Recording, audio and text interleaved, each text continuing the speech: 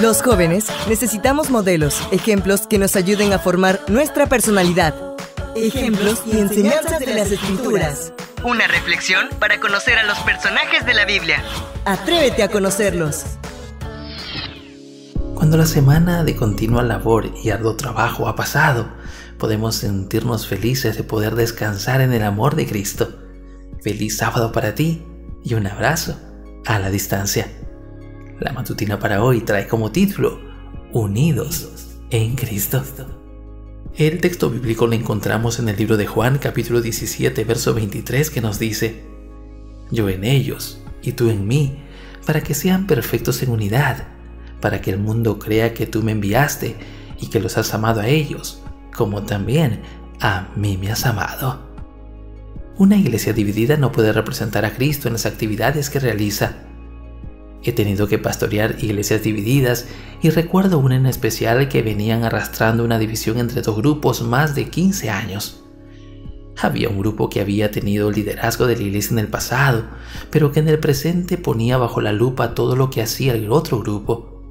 Con palabras hirientes, criticaban la falta de responsabilidad de algunas tareas, condenaban a algunos líderes por tener hijos que se habían apartado de la iglesia, y cada culto era una inspección general para lo que podía salir mal y condenable.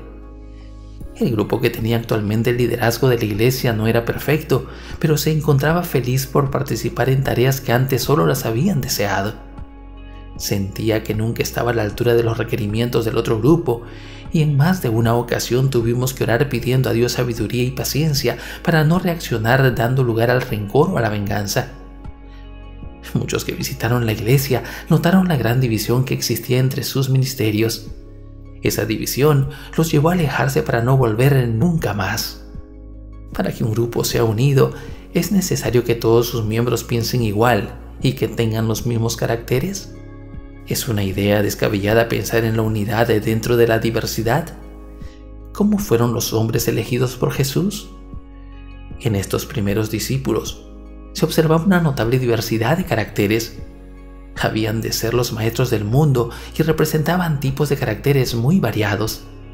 A fin de llevar delante con éxito la obra a la cual habían sido llamados, estos discípulos, que diferían tanto en sus características naturales, en su educación y en sus hábitos de vida, necesitaban llegar a la unidad de sentimiento, pensamiento y acción.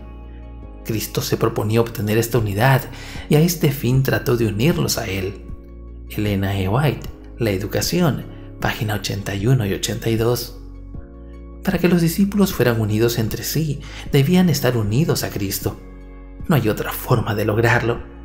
Y en la actualidad, cada miembro de la iglesia que no ama de corazón a otro de su congregación es porque no ha permitido a Cristo tomar el control completo de su vida.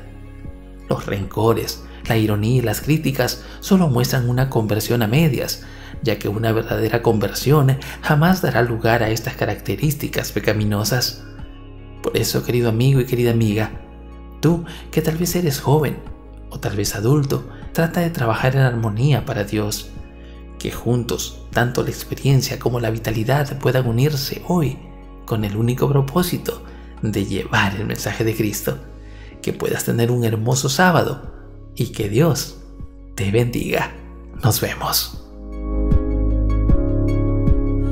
Devoción matutina para jóvenes.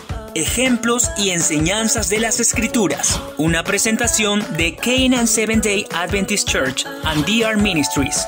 Hasta la próxima.